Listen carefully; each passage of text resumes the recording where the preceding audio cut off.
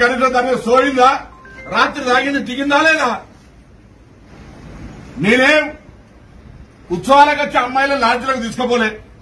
టీవీలో ఆరోపణలు నా మీద రాలే. నాకు తెలియదు నాకే తెలియదు. ఇంతకుముందు నేను ధర్మం నాటి ఎన్నికలు నడిచినాయంటే ఇంకోటి నా పిల్లలు ఇచ్చేది ఉన్నా ఆ ఆకారం చూస్తే అమ్మాయిలు కూడా దగ్గరికి ఎట్లా వస్తారో నాకు తెలియదు కానీ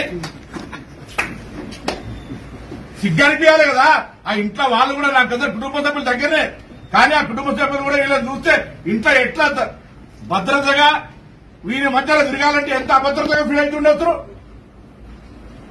అరే అటువంటి వాడు నన్ను రాజకీయాలు విద్యాయేస్ నేను చెప్తున్నా మా నాయన రాజకీయాలే. నేను పంతొమ్మిది వందల ఎనభై ఏడులో ఏబీవీకి వ్యతిరేకంగా ఎస్ఆర్ఆర్ డిగ్రీ కాలేజీలో అధ్యక్షుడిగా గెలిచి నేను రాజకీయం స్టార్ట్ చేసిన.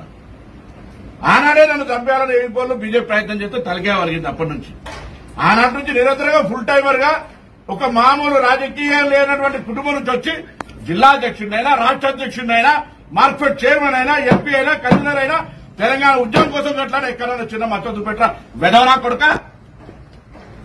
నీ దగ్గర నీకున్నది ఇక్కడ నీ పార్టీ శాసనసభ్యుడు ఓడిపోతే బలైన వర్గాల మంత్రి కావచ్చు నక్క లెక్క కుక్క లెక్క అడ దాక్క కూర్చొని నువ్వు ఇవాళ ఇక్కడ శాసనసభ్యుడు ఓడగొట్టడానికి ప్రయత్నం చేసినావు. కాంగ్రెస్ అభ్యర్థికి పైసలు ఇచ్చి ఇది జగవరిగిన సత్యం కాదు మీకు తెలియదా నేను అడుగుతున్నాను అందుకే. రాజకీయాల్లో గెలుపు ఓటం కాంగ్రెస్ పార్టీ నీలా నేను ఒకటే మళ్ళా కూడా సవాల్ చేస్తాను. నువ్వు మొగోడు అయితే దీనికి అనేక అర్థాలున్నాయి నువ్వు మొగోడు అయితే తెలుగుదేశంలో ఉండి గెలిచి నన్ను అంటే అర్హత ఉండదు నేను ఆ భగవంతుని ప్రార్థిస్తే ఒక్క రోజు మళ్ళీ వచ్చి నా ఇంటి ముఖం తెలుసుకొని అపాయింట్మెంట్ అడిగే రోజు వస్తుంది బిడ్డ గంజుల కమలాక ఏ, రాజకీయాలు ఓడిపోయిన ఓడిపోయినామని భయపడి ఓలే. నిరంతరం ప్రజల మధ్యలో ఉన్నాం. ప్రజా సమస్యలు నా దృష్టికి వచ్చినట్టు కొట్టాడుతూనే ఉన్నాం. కాంగ్రెస్ పార్టీ కార్యకర్తలకు అండగా ఉన్నాం. ఇవాళ పులి పక్కవరితో సార్కలు పోతానో లేకపోతే బాగా తొట్టానో సార్కలు చూసుకుంటే పులి అవుతానని కాదు. ఏ అక్కడ తొట్టుండొచ్చు ఆర్థికంగా ఉండొచ్చు. గెలిపే క్రైటీరియా అంటే నువ్వు ఇంకా పసాల గెలిచినా నిన్ను నాయకుడు అన్నారు ఏ సోడిపోయిన పొన్నం ప్రభాకర్ బరాబర్ తెలంగాణ రాష్ట్రంలో నాయకుడు అంటారు?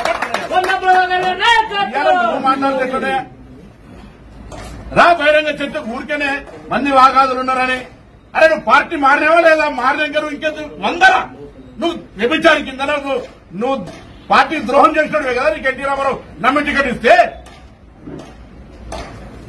నేను ఒక్కటే మాట నేను చిన్నగా రెండు వేల పద్నాలుగులో ఒకవేళ మేము పార్లమెంట్ సభ్యులు వాళ్ళని మొన్న కూడా చర్చ జరుగుతోంది. అరే ఎందుకు తెలంగాణ పార్లమెంట్లో మళ్ళా గెలవలేకపోయి నేను కాదు. పాపం బందా జగన్నాథ్ రాజయ్య వివేక్ గారు మధు యాష్కి అందరూ ఓడిపోయినవే. తెలంగాణ కోసం పోరాడిన తర్వాత ఓడిపోతే దానికే మాకన్నా బాధలే తెలంగాణ కోసం ప్రాణాలు అర్పించిన సంగతి ఏంది? అటువంటి ప్రాణాలు అర్పించినటువంటి దాని అధికారం మీద పేలాలు ఏర్పడుతున్నటువంటి తెలంగాణ ద్రోహుల సంగతి ఏంది?